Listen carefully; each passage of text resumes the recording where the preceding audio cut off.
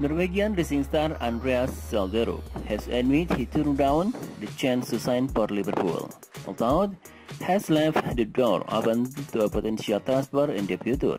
The 17-year-old midfielder began his career in his native country at reigning top-flight champion Bodo Glimt, but was soon being targeted by a number of top European sides and was left with a big decision to make. In the end, he opted to sign for Danish side Nordsjælland in June 2020 and has experienced rapid progression and making this move.